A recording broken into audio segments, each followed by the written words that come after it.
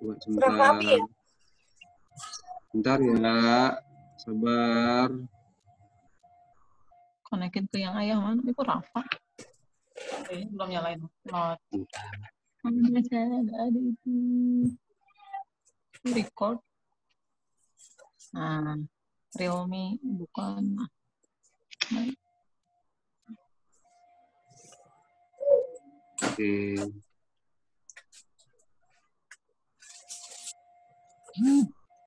Tadi ini ada nggak suaranya nih? Ada, ada suaranya. Oh, Kok gua nggak dengar ya suara video ya?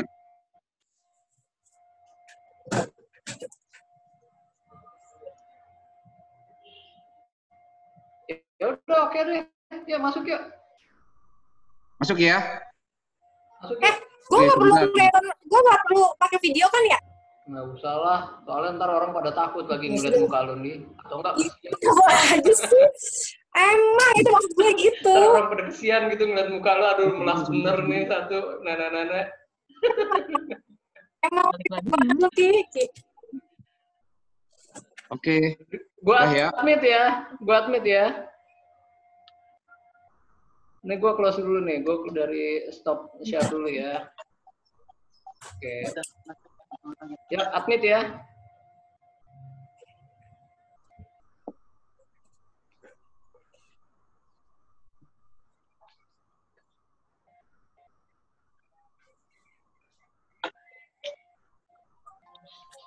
Assalamualaikum. Salam.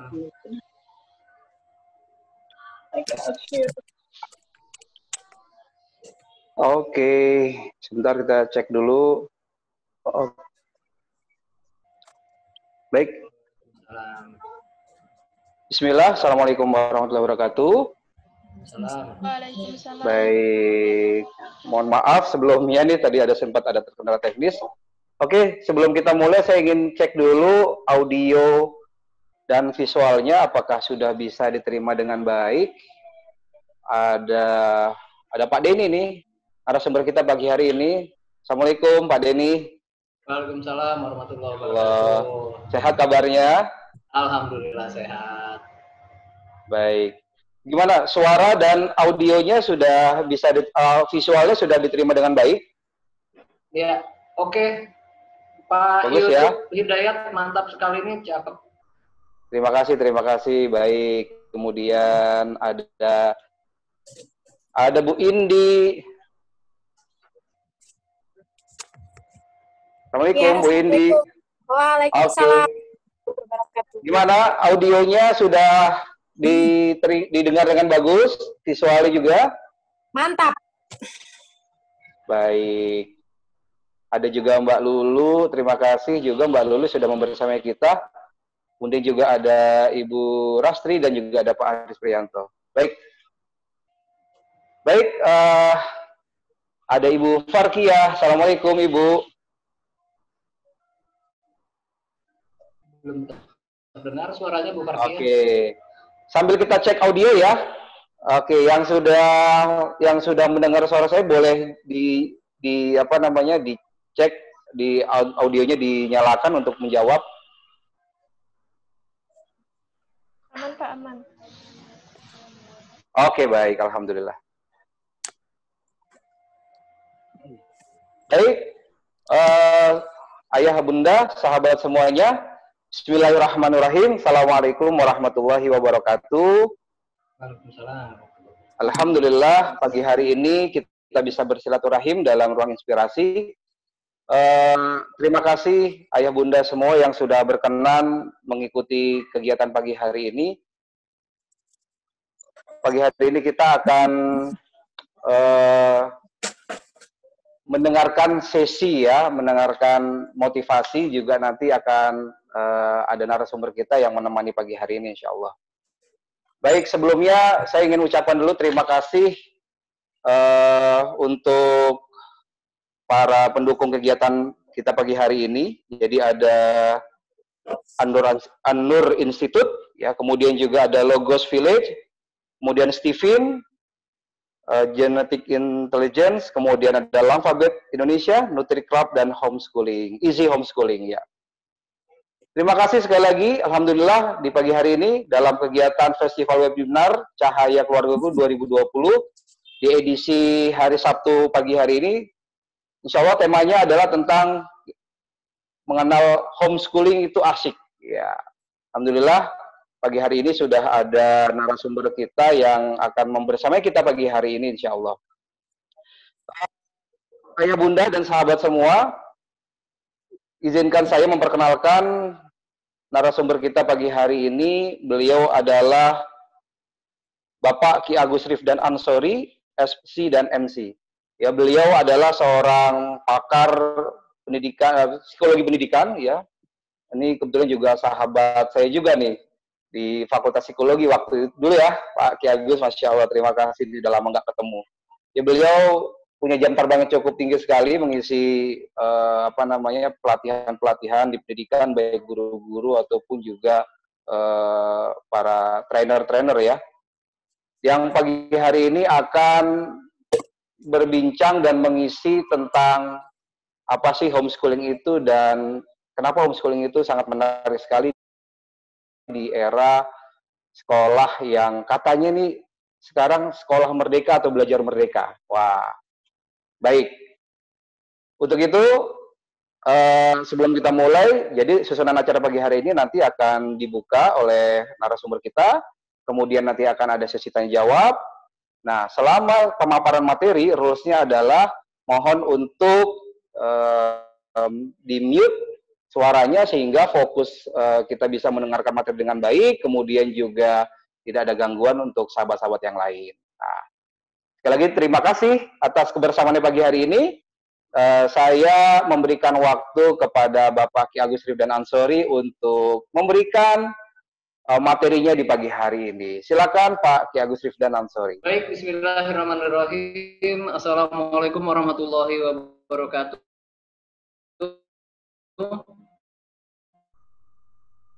Alhamdulillah kita bisa bersilaturahim uh, dengan para orang tua mungkin. Aduh enak banget bilangnya orang tua.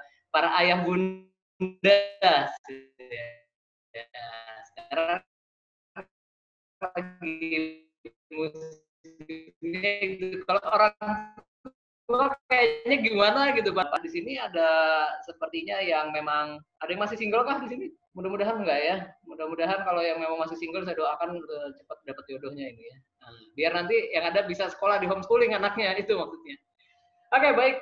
Sebelumnya saya kepengen uh, memberikan sebuah gambaran dulu seperti ini. Jadi ini adalah uh, saya mau mengilustrasikan seperti halnya ketika kita berada dalam satu uh, apa namanya hutan di hutan itu ada uh, berbagai macam uh, hewan yang mana hewan di situ mereka berlari ada yang berlari sana sini. Nah atau dan dia cerdik dia lincah dia bisa uh, lari dengan kecepatan uh, apa namanya 80 km per jam. Uh, dia bertanduk. Ada yang tahu apa namanya namanya kancil ya gampangnya gitu gampangnya namanya kancil. Ada lagi kemudian yang dia senang memanjat.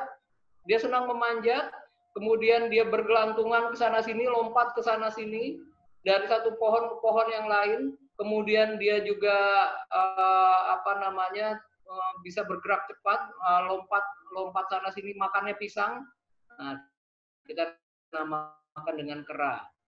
Kemudian ada lagi juga di situ yang dia um, apa namanya garang, sangar, dikenal dengan raja hutan, dia namanya adalah singa atau harimau. Nah, ada lagi kemudian di situ yang dia uh, apa pandai terbang, terbang menukik sana sini, kemudian dia bisa uh, matanya itu sangat tajam dalam melihat mangsa. Nah, dia kita panggil dengan elang. Kemudian ada lagi ketika kita berjalan lagi di uh, tengah hutan di uh, di lintas ada yang melintas di situ, di situ ada sungai dan di sungai itu tentu ada uh, yang pandai berenang. Siapa yang pandai berenang? Yang pandai berenang di situ adalah ikan. Nah, kita bisa lihat di situ bahwa sebenarnya kalau kita melihat alam semesta ini pastinya kita akan melihat beberapa karakter-karakter yang mana di situ memiliki keunikan tersendiri. Logika gampangnya gitu. Memiliki karakter-karakter yang memiliki keunikan masing-masing dari mereka, kehebatan masing-masing dari mereka. Artinya apa? Artinya setiap kita di sini memiliki hal yang sama seperti itu. Karena apa? Yang namanya ma- eh, ya, eh, Allah yang Maha Kuasa menciptakan setiap kita tuh unik. Di alam semesta ini pasti semuanya tuh diciptakan dalam bentuk yang unik. Tidak ada yang ibaratnya bentuknya itu eh, yang apa ya bahasanya nggak memiliki ciri khas gitu loh. Semuanya punya ciri khas. Kita bisa lihat di sini ada eh, Mas Yusuf Hidayat dengan matanya yang dari dulu ya kan seperti itu.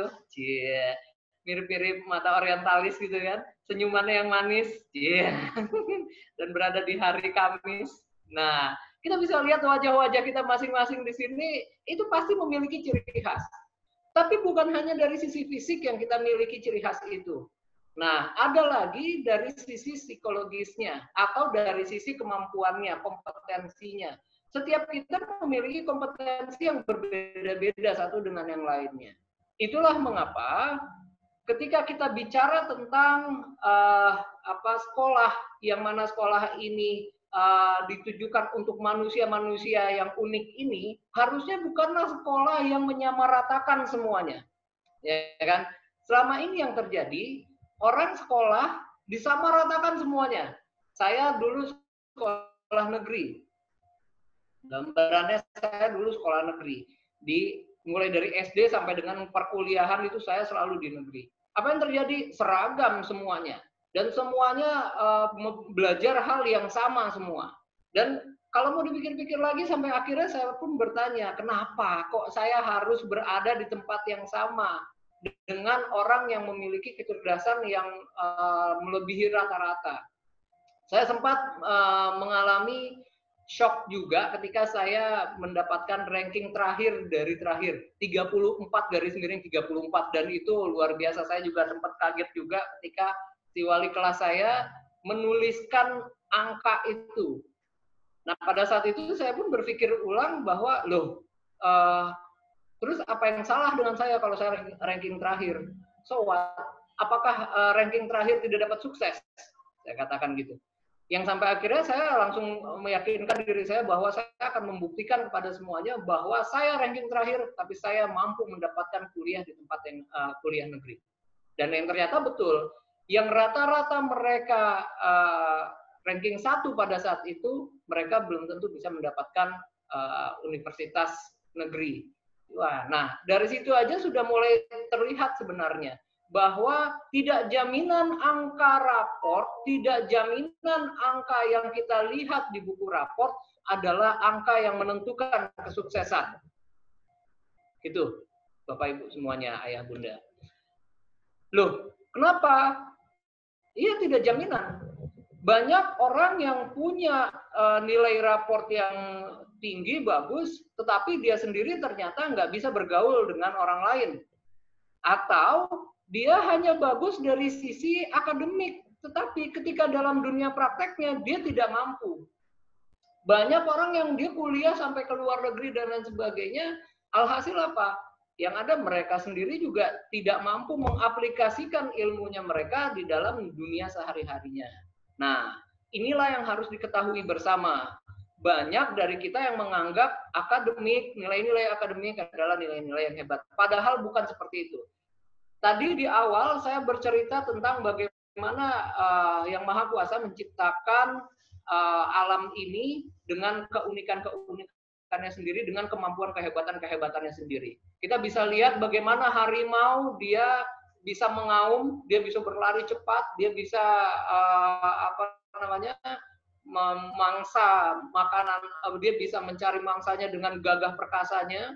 Kemudian kita bisa lihat bagaimana kancil yang katanya cerdik, dia bisa melompat ke sana sini, dia bisa berlari dengan lincah. Kita bisa lihat juga bagaimana kera dia bisa gelantungan ke sana sini. Itu tidak dimiliki oleh masing-masing. Artinya apa? Kera dia tidak mampu mengaum Karena tidak mampu menakut-nakuti hewan eh, yang lainnya. Kemudian apa yang terjadi lagi? Begitu juga dengan kancil. Kancil tidak dapat manjat pohon, gelantungan di atas pohon. Kemudian apa lagi? Kita bisa lihat lagi di sini bahwa eh, ikan, ikan pun juga eh, tidak bisa dia berlari di darat. Nah, kita bisa lihat di sini bahwa setiap kita itu unik dan memiliki kompetensi yang unik masing-masing kita. Artinya, jangan pernah mengajarkan seekor burung untuk berenang. Dan jangan pernah mengajarkan seekor ikan untuk terbang. Dan jangan pernah mengajarkan seekor uh, apa namanya kancil untuk memanjat pohon. Nah, di sinilah yang saya ingin katakan bahwa ketika kita bicara seperti itu, homeschooling tepat sekali untuk orang-orang yang seperti yang yang dia sudah percaya yang dia sudah meyakini dengan keunikan dirinya. Ya kan? Seperti halnya orang-orang uh, mungkin kalau saya waktu dulu ada homeschooling saya tertarik banget untuk masuk ke homeschooling. Kenapa? Karena saya udah merasa kok gue Eh, kenapa kayak gini ya? Kenapa kayak begitu? Lu, lu sudah ada ngerasa ada keunikan tersendiri ketimbang anak-anak yang lainnya gitu kan. Sampai akhirnya ngerasa ih kayaknya nggak enak banget deh sekolah. Nah kalau udah ada tanda aja si anak kayak begitu itu harus dipertanyakan tuh. Ini uh, bener nggak anak uh, anak saya dimasukkan ke dalam sekolah ini ya? Nah, harusnya dibuat di, diarahkan seperti itu, di, dipertanyakan kalau seandainya memang anak ini sudah mulai ngerasa dia nggak nyaman dengan uh, sekolah yang dia hadapi saat itu, itu dipertanyakan, gitu. Nah, terus gimana? Ya udah, mau nggak mau anak ini harus cari tempat yang membuat dia nyaman. Dulu uh, sebelum homeschooling terkenal uh, sampai uh, kayak sekarang gini, itu ada istilahnya sekolah alam. Nah, sekolah alam itu juga mirip-mirip uh, seperti hal, halnya homeschooling. Nah, tapi sampai akhirnya sekarang kita ketemu di mana masanya setiap sekolah sekarang homeschooling. Orang kan tahunya akhirnya kayak gitu. Sekolah sekarang homeschooling. Yang artinya apa? Ketika setiap sekolah homeschooling semuanya ada di rumah. Nah, termasuk saat ini kita. Kita pun belajar di rumah, ya kan? Nah, ini yang saya katakan bahwa uh, sampai akhirnya begitu. Cuma pertanyaannya, apa yang membedakan sekolah biasa yang belajar di rumah dengan homeschooling yang benar-benar homeschooling. Sebelum uh, saya jawab pertanyaan ini, yuk uh, kita lihat dulu presentasi kita.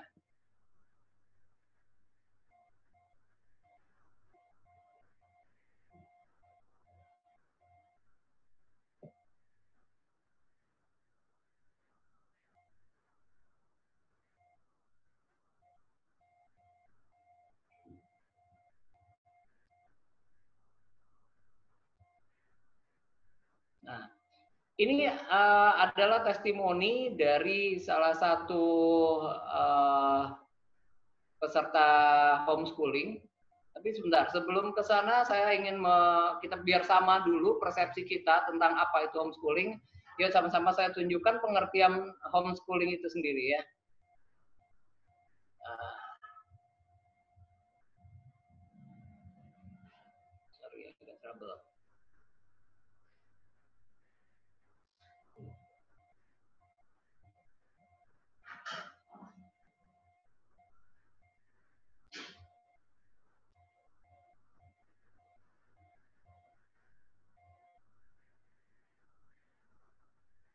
Oke.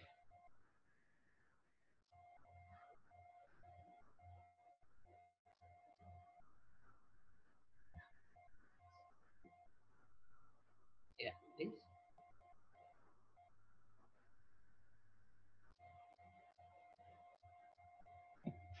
Pada prinsipnya, kalau kita mengetahui selama ini, kalau orang uh, bertanya-tanya apa sih homeschooling itu, banyak sekali persepsi yang sampai akhirnya membuat uh, buyar ya orang-orang itu mengatakan bahwa homeschooling uh, ya hanya belajar di rumah semuanya hanya belajar di rumah homeschooling itu belajar di rumah ya kan tapi kalau menurut beberapa pakar ini uh, Dr. Suryadi itu dia menuliskan bahwa homeschooling adalah proses layanan pendidikan yang secara sadar, teratur, dan terarah dilakukan oleh orang tua. Kata kuncinya orang tua atau keluarga di rumah atau tempat-tempat lain dengan penuh tanggung jawab di mana proses belajar mengajar dapat berlangsung dalam suasana yang kondusif dengan tujuan agar setiap potensi anak lagi kata kuncinya potensi anak yang unik tuh kan dapat berkembang secara maksimal. Nah, ya kata kuncinya keluar orang tua, keluarga, kemudian uh, dari sisi tempatnya juga berbeda. Intinya dia suasananya kondusif sehingga potensi anak uh, yang unik itu dapat berkembang. Tuh, kita bisa lihat ya. Kemudian beberapa uh, pakar yang lainnya juga bilang gitu. Fokus pada pembentukan karakter, ya kan? Kegiatan belajar bisa terjadi secara mandiri bersama orang tua atau bersama guru pendamping. Kemudian orang tua memegang peranan utama sebagai guru, motivator, fasilitator. Lihat, kita bisa lihat di sini bahwa semuanya dilakukan bersama keluarga atau orang tua. Nah, ini sebenarnya sejalan sekali kalau uh, kita mengetahui pendidikan di Islam yang seperti apa, Islam sendiri pun juga uh, ada salah satu hadis yang mengatakan uh, al um madrasatun ula. Uh, umi atau ibunya, ibu itu adalah uh, uh, apa? guru yang pertama. Lihat. Nah, di sini jelas bahwa itu yang itu bisa jadi kalau menurut kita sekarang adalah homeschooling. Gampangnya gitu homeschooling itu ya kayak gitu. Jadi memang dari awal sekarang pertanyaannya kita bisa lihat apakah pada zaman uh, para nabi dan sahabat dulu tuh ada yang namanya sekolah-sekolah yang mentereng seperti sekarang? Kan enggak. Tapi lihat apa yang terjadi. Yang terjadi ada seorang anak muda yang dia bisa menaklukkan Konstantinopel. Siapa? Al-Fatih. Nah, kita bisa lihat di situ. Bagaimana pendidikannya Al-Fatih? Harusnya ditelusur tuh ya kan? Harusnya kita telusur gimana kok bisa sampai akhirnya ada orang yang memang bisa uh, seperti halnya Al Fatih, ya kan? Bisa me, me, apa mendidik, orang tuanya kok bisa mendidik seperti halnya Al Fatih. Nah, ini yang saya yang saya katakan bahwa pendidikan zaman dulu itu pendidikannya uh, apa namanya para sahabat itu kemungkinan terbesarnya ya homeschooling itu. Nggak ada dulu istilahnya university pada saat para uh, zaman sahabat. Nggak ada. Walaupun ada yang namanya makanya dikatakan madrasatun ya kan? Yang mana di situ berkaitan erat dengan pendidikan ngedidik anak gitu loh terus uh, kenapa kok sekarang yang ada terjadi seperti ini nah makanya saya katakan bahwa uh, imperium, waduh imperium bahasa tinggi apa ya? Kerajaan lah ya, empire, empire sudah empire jadinya. Nah, jadi uh, kerajaan-kerajaan zaman dahulu setelah memang uh, apa sudah ada di situ kerajaan-kerajaan zaman dulu, mereka memikirkan tuh, oh ini nanti ada nggak menutup kemungkinan masa depan ini yang namanya orang tua akan semakin sibuk, maka peranan pendidikan harus digeser ke sebuah sekolah-sekolah. Nah, akhirnya dibuatlah sekolah-sekolah. Efeknya apa? Ya mereka semua disamaratakan kayak begitu. Padahal yang tahu anak, kemampuan anak adalah yang orang tua. Dan ini yang sering terjadi. Saya sering ngasih training ke guru-guru.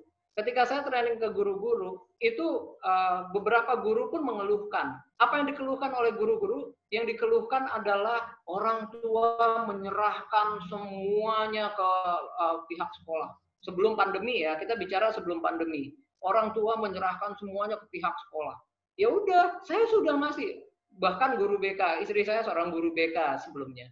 Nah, ketika istri saya uh, pada saat itu mengeluhkan ke saya, dia menceritakan begini, bahwa uh, apa orang tua tuh menyerahkan. Ketika anak di rumah bandel, bilangnya katanya ini didikannya gimana sih di sekolah pasti begitu. Nah ini yang yang saya katakan tadi bahwa nggak bisa, nggak bisa kita uh, apa memberikan kita ibaratnya di sini menyerahkan sepenuhnya semuanya sama sekolah tuh nggak bisa. Nah inilah yang saya katakan tadi bahwa sekolah bukanlah sebuah uh, apa ya saya katakan bukanlah tempat yang yang satu-satunya tempat yang paling tepat untuk mendidik karakter anak ya jadi jangan pernah kita berpikir bahwa si anak itu harus sekolah harus sekolah begini harus sekolah nanti dulu banyak anak-anak yang memang dia nggak sekolah ternyata hebat. Loh kenapa? Karena lagi-lagi sekolah sorry sekolah yang saya masuk maksudkan di sini adalah sekolah gedung ya yang emang ada gedungnya mereka dikumpulkan jadi satu di situ mereka harus ibaratnya duduk manis di situ. Nah itu yang saya maksud sekolah tadi berbeda dengan eh, yang saya katakan homeschooling. Ini yang saya katakan nggak bisa kayak gitu. Kita lihat uh, ketika memang Indonesia uh, sedang dijajah Belanda pada saat itu apa yang terjadi? Kaku sekali semuanya. Apa yang terjadi pada saat itu? Lihat, semuanya itu diatur dengan uh, arahan dari Belanda. Apa pun semua diarahkan uh, sesuai dengan keinginan sang penjajah. Nah, ini yang yang menjadi sebuah catatan besar bahwa sampai akhirnya pendidikan Indonesia pada saat ini pun masih terpengaruh oleh budaya-budaya uh, penjajah sebenarnya. Alhasil apa? Alhasil, setiap anak saat ini pun mentalnya turun akhirnya. Karena mereka tuh berpikirnya ya sudah, saya mau uh, ya udah emang dapatnya kayak gini yang diajarin di sekolah begini. Mau ngomong apa kita kalau sudah seperti itu? Ada uh, teman-teman sering ngelihat ya uh, kalau di FB atau di sosial media yang lainnya itu ada yang lucu-lucu gitu dituliskan di situ. Ini uh, sekolah zaman sekarang um, kemarin tuh saya saya ngelihat sendiri ada yang memposting gini, siapakah yang uh, paling sering membicarakan orang lain? A. Reporter. B. Uh, apa namanya uh, pemerintah? Uh, sorry, siapakah yang paling sering melakukan gibah? Ada aja kayak gitu. A. Reporter. B. Pemerintah. Terus udah gitu yang kedua tetangga pilihan anak adalah tetangga. Nah, contoh yang kayak gitu-gitu saya bilang, nah ini pasti salah nih. Nah, ibaratnya ibaratnya ada beberapa pertanyaan-pertanyaan yang memang itu sudah baku ada di sekolah atau sudah baku ada di buku, harus ngeplok seperti itu. Padahal banyak. Oh ya, ada lagi ponakan saya waktu itu. Uh, pertanyaannya gini, siapakah yang biasa mencari uang? Ini pertanyaan anak SD nih. Siapakah yang biasa yang uh, siapakah yang biasanya mencari nafkah di dalam di uh, di keluarga kamu? Apa jawaban si anak? Eh ada ada yang pertama pilihannya adalah A ayah, B uh, ibu, C ayah dan ibu. Kemudian si anak uh, ponakan saya bilang, ini kan nggak semuanya orang yang cari uh, uang itu uh, kakek dibilang kayak gitu. Kenapa? Yang dia ketahui pada saat itu ya kakeknya yang uh, cari uangnya itu benar-benar terlihat jelas. Yang emang ibaratnya setiap hari kan PNS kakeknya kan, kakeknya setiap hari pulang pergi pulang pergi pagi pulang sore. Sedangkan ayahnya pengusaha, dia usaha yang jadi yang dianggapnya dia itu sebagai seorang yang cari uang adalah kakeknya. Kita bisa lihat di sini bahwa akhirnya persepsi anak terhadap segala sesuatu itu berdasarkan literasi-literasi yang ada di sekolah. Nah, ini yang kalau saya katakan dari dulu saya sebenarnya mempertanyakan. Ini yang saya katakan bahwa sampai akhirnya si anak pun uh, tidak tidak muncul kreativitasnya. Ini yang yang memang harus kita uh, lihat kembali. Kok bisa si anak sehingga nggak muncul kreativitasnya? Mari kita lihat lagi. Seperti halnya pengertian-pengertian tadi, kita sampai akhirnya harus memahami bahwa homeschooling berbeda dengan halnya yang kita ketahui sekolah-sekolah pada umumnya. Kenapa? Lihat, homeschooling fokus pada pembentukan karakter dan minat bakat. Kegiatan belajar terjadi secara mandiri. Loh, gimana kegiatan belajar terjadi secara mandiri? Iya, si anak ketika dia kita suruh untuk ke warung, itu pendidikan loh. Iya, misalkan, ya, adek, adek ke warung dong, beli gula, terus, iya mah, misalkan, adek beli gula satu kilo ya, udah gitu, beli uh, telur setengah kilo, terus udah gitu, ada nanti jangan lupa beli terigu, beli terigunya satu kilo aja cukup. Nah, kita lihat di situ. Ini ada bawa uang 100 ribu ya, nanti kembalinya berapa coba ada hitung. Lihat, di situ si anak sedang belajar apa? Oh, oke oke. Saya sebenarnya nggak biasa eh, apa namanya tidak melakukan interaksi. Saya kepengen sekarang kita melakukan eh, melakukan interaksi. Saya stop sharing dan saya minta untuk membuka dulu semuanya. Tolong dibuka eh, mute-nya, dibuka mute-nya. Saya mau interaksi nih. Ya. Yes. Sudah Oke. kita aktifkan. Oke, oke. Sip. Nah, eh, saya manggilnya Mbak Farkiah. Betul? Betul, betul. Atau Ibu aja nih? Bunda, Bunda Farkiah aja ya? Ya. Ya, Iya.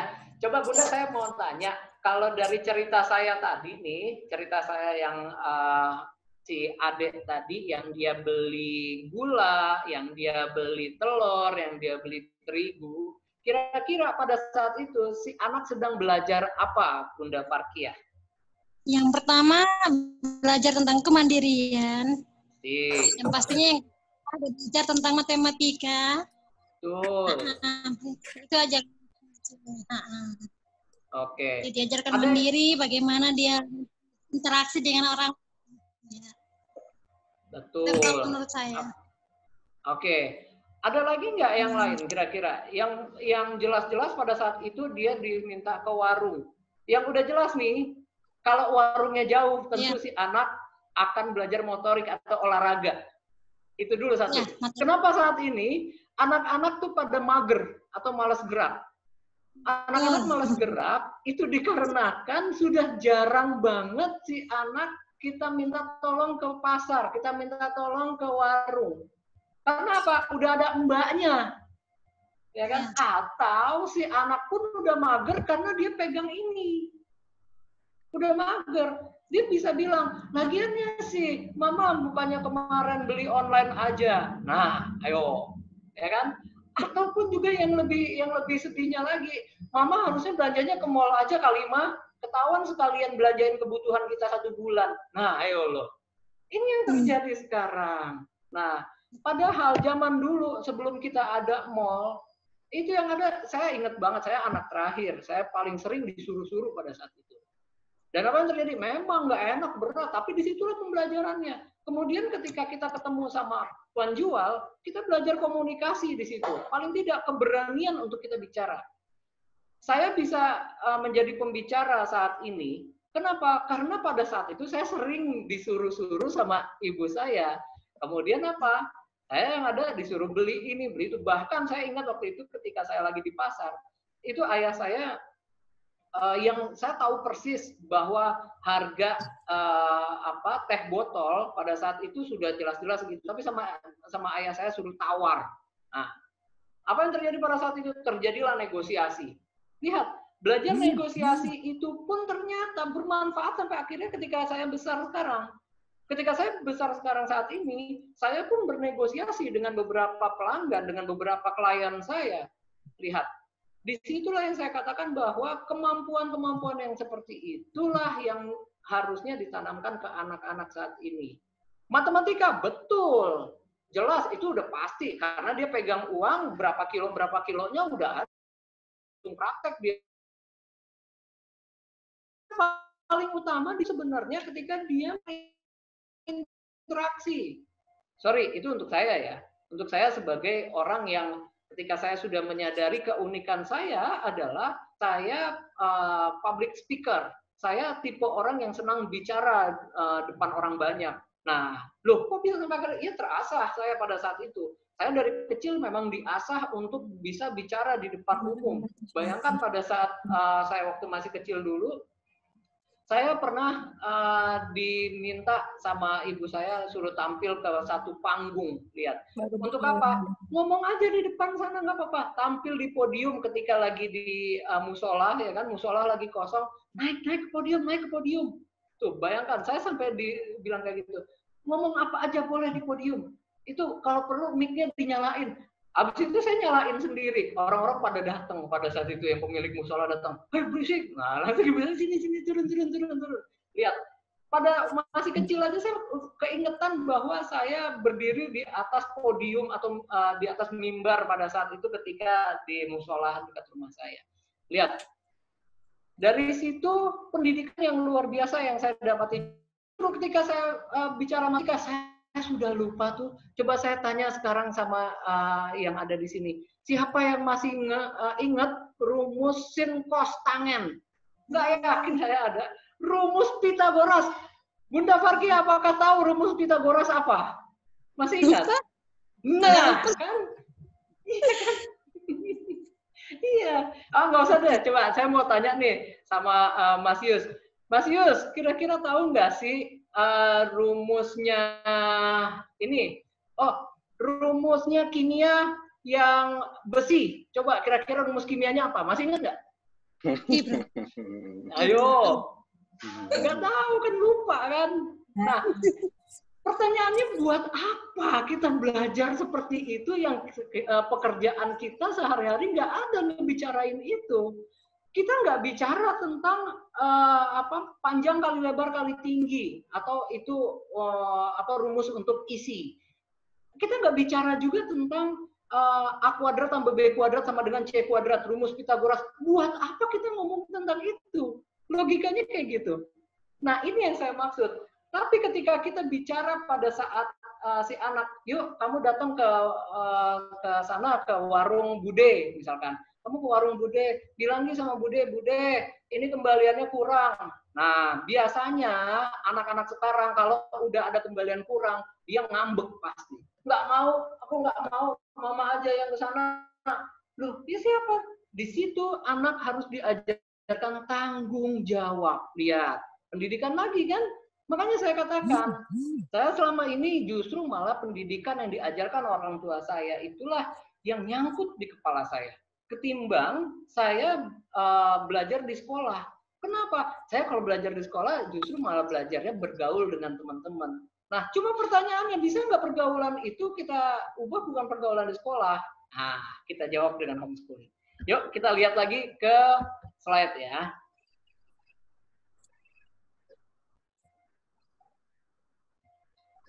Nah, di sini kita bisa lihat di sini pendekatan pembelajaran lebih bersifat personal dan humanis.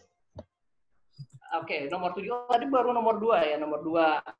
Kemudian orang tua memegang peranan penting sebagai guru pasti. Keberadaan guru tutor lebih berfungsi sebagai pendamping dan pengarah minat anak dalam mata pelajaran yang disukai. Adanya fleksibilitas pengaturan jadwal kegiatan pembelajaran adanya fleksibilitas pengaturan jumlah jam pelajaran untuk setiap materi pembelajaran. Ya, semuanya lebih bersifat fleksibel. Tidak ada istilah anak tidak naik kelas tuh. Semua anak bisa naik kelas sesuai dengan kecepatannya masing-masing. Memberi kesempatan anak belajar sesuai minat, kebutuhan, kecepatan, dan kecerdasan si anak.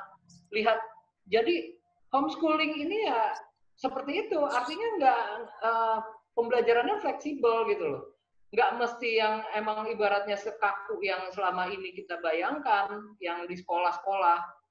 Nah, jenis-jenis homeschooling.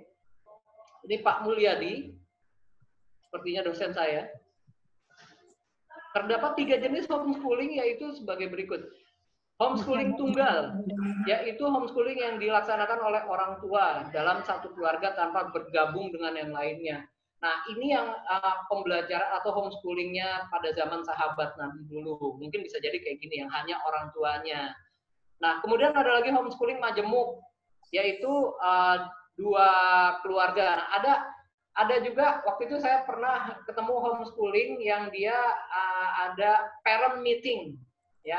Ada parents meeting yang mana di situ si uh, orang tua ketemu sama orang tua, kemudian dia ngejodohin eh ngejodohin anaknya bukan maksudnya orang tua sama orang tua um, ngajak si si anak gitu ya ya ngajak anak-anaknya dengan anaknya ini gimana nih? Bingung saya bahasanya. Anaknya dengan anaknya untuk yuk belajar bareng. Ah belajar bareng gitu ya. Belajar bareng Nah, kemudian ada lagi komunitas homeschooling. Nah, di sini di komunitas homeschooling ini barulah di situ dibuat yang namanya uh, homeschooling sesuai, tapi ini pun sesuai dengan minat bakatnya loh, ya kan? Fungsinya apa? Biar ketemu nih, biar mereka juga bisa bersosialisasi dalam satu komunitas, ya kan? Dalam satu komunitas yang sama.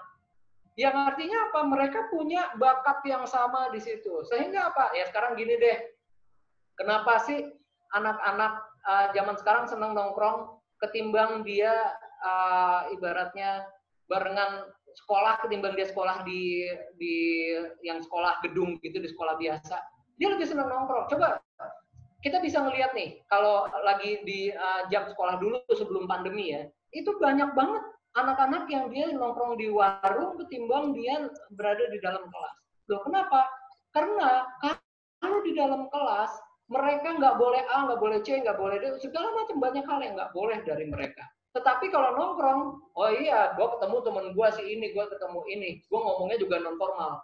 Apa yang terjadi? Justru malah mereka dapat pembelajaran dari situ. Pembelajaran apa? Termasuk salah satunya pembelajaran yang negatif di situ akhirnya.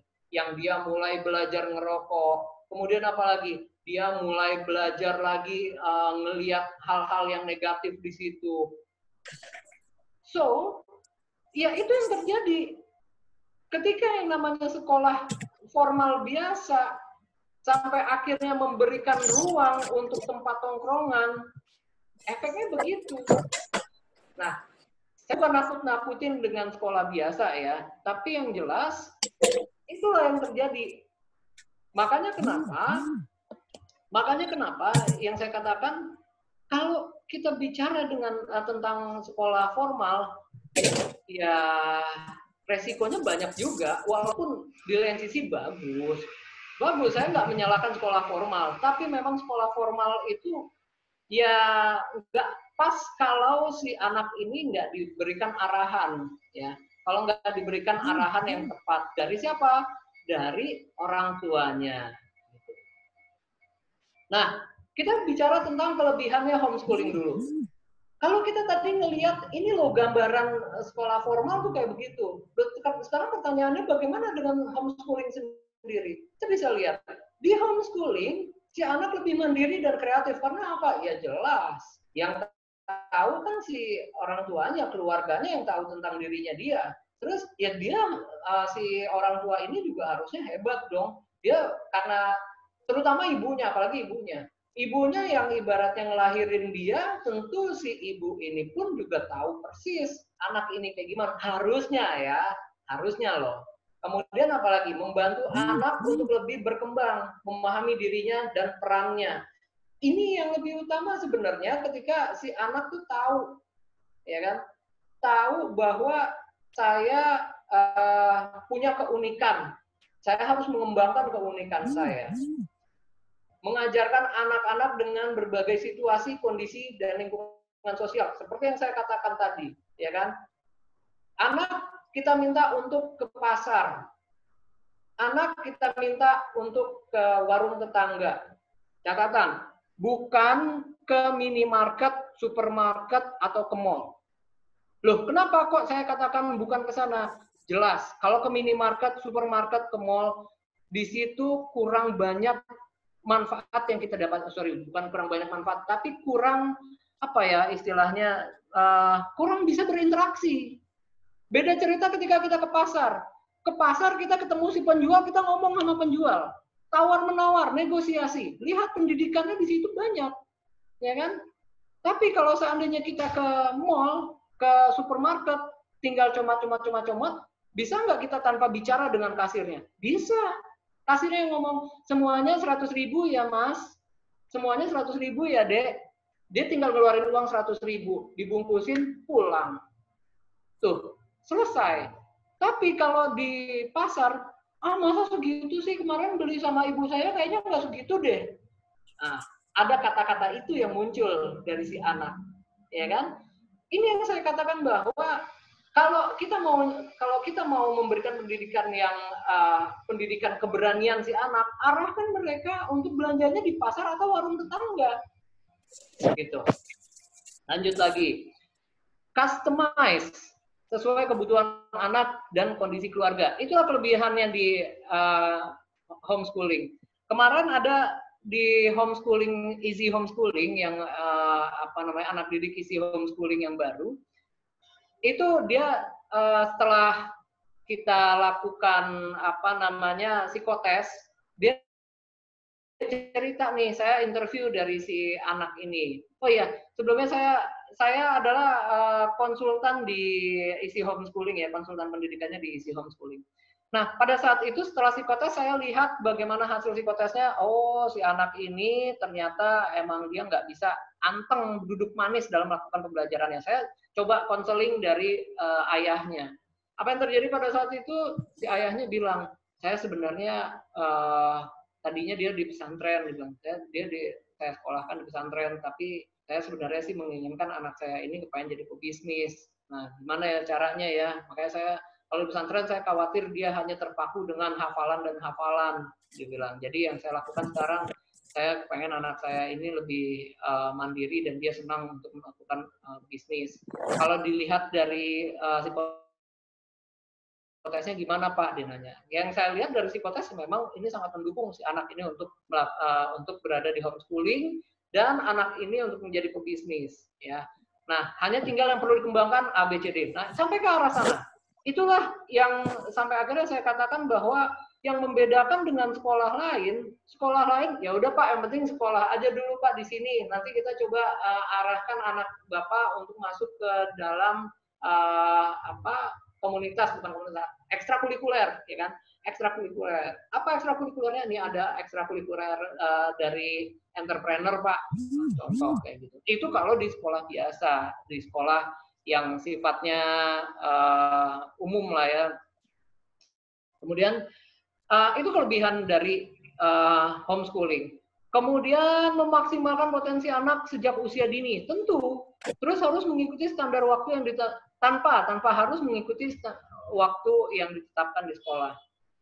Um, start pendidikan di dalam homeschooling itu adalah ketika si anak baru bangun Berbeda sekali dengan uh, pendidikan formal. Pendidikan formal, startnya itu adalah ketika si anak menginjakan kaki di pagar, uh, melewati pagar sekolah. Itulah start pendidikan awal. Ayo lari, kamu udah mau terlambat. Nah, itu pendidikan tuh sebenarnya. Ketika di situ ada uh, bu guru atau kepala sekolahnya udah nungguin di depan pintu pagar, saya ingat banget dulu saya ketika SMA paling sering banget yang namanya diomelin sama kepala sekolah. Hei, kayak Agus, lama banget, cepetan, udah mau bel. Gitu. Iya Pak, nah, saya belajar olahraga di situ. Dan gitu apa? Kalau saya terlambat, saya belajar negosiasi di situ sama, sama uh, satpam. saya lobby-lobby satpam. Halo Pak, ini tadi saya soalnya uh, habis ngerjain PR Pak. Gini. Ya udah diem-diem aja. Ya Pak, ya eh, nggak uh, apa-apa deh Pak, saya push up, push up lah nggak apa-apa. Coba. Artinya apa? Start pendidikan, start awal, start pada hari itu dia belajar ketika dia masuk ke dalam gerbang sekolah. Tetapi homeschooling nggak seperti itu. Homeschooling dia belajarnya itu diawali pada saat dia baru bangun tidur. Siapa yang dia lihat pada saat itu? Oh, yang dia lihat pada saat itu adalah mamanya, papanya. Nah, Misalkan yang dia lihat pada saat itu uh, adalah mamanya. Ketika dia melek buka mata, langsung disambut sama mamanya. Uh, misalkan, Ade, assalamualaikum baca doa dulu sebelum uh, uh, baca doa bangun tidur. Coba apa baca doanya? Nah, tuh masuk tuh satu ya kan baca doa uh, bangun tidur. Kemudian yuk ya, ya langsung kita ke kamar mandi siap-siap untuk sholat subuh. Lihat, diarahkan lagi untuk sholat subuh ya kan? Bagaimana dengan yang mereka uh, eh, non muslim? Sama. Yang non muslim pun pasti kalau orang tuanya memang benar, yang bagus gitu ya, tentu akan diarahkan hal-hal positif. Ya. Jadi dari sisi waktu sangat fleksibel bahkan lebih early duluan gitu loh pembelajarannya ketimbang yang lain. Lebih siap untuk terjun di dunia nyata? Ah, pastinya ke real world ya kan karena proses pembelajaran berdasarkan kegiatan sehari-hari yang ada di sekitarnya. Relatif terlindungi dari paparan nilai dan pergaulan yang menyimpang, tawuran, drug, konsumerisme, pornografi, mencontek dan lain sebagainya. Salah satunya penyebab korupsi awal pertama kali adalah nyontek. Nah, jadi kalau kita mau tahu nih, kalau yang saat ini mereka uh, dikena kasus kena KPK, coba kita telusur. Apakah waktu masih sekolahnya dulu dia senang nyontek? Kemungkinan besarnya iya. Jawabannya gitu. Loh, kenapa? Iya, awal. Satu kali dia nyontek berhasil, nyontek kedua kali. Nah, nyontek yang kedua kali berhasil, nyontek ketiga kali. Ketiga kali tidak berhasil, ya sudah tidak apa-apa. Silahkan coba lagi. Jadi jangan begitu nantinya tuh. Oke. Kemudian kemampuan bergaul dengan orang tua dan berbeda, yang berbeda umur. Pasti. Akhirnya apa? Dia bisa bergaul dari usia yang uh, apa namanya dengan adiknya yang di bawahnya dia dengan usia yang lebih tua sama dia. Jadi dia bisa menyayangi yang muda, menghormati yang tua. Dia bisa seperti itu. Sorry sebentar Mas Yusuf, saya sampai jam berapa ya waktunya untuk tanya jawab? Apakah sudah kelewatan atau belum ya? Halo Mas Yus? Ya, sempat terkendala tapi sudah. Uh, nanti kalau sudah sudah oke okay lagi. Sorry, Yus kalau uh, apa namanya waktunya untuk tanya jawab nanti kasih tahu ya Yus soalnya kalau saya nggak ngelihat waktu okay, kalau okay. udah ngomong nih. Ya tahu sendiri kan saya kayak gimana Yus. Boleh lima menit lagi ke depan nanti kita bisa tanya jawab selang-seling tanya jawab nanti bisa ada pemaparan lagi. Baik, yuk kita kejar uh, apa namanya dari slide ini ya. Kemampuan bergaul dengan orang tua tadi sudah. Masih memberikan peluang berinteraksi dengan teman sebaya di luar jam belajarnya. Dengan catatan. Dengan catatan anak-anak lepaskan dulu dari gadget.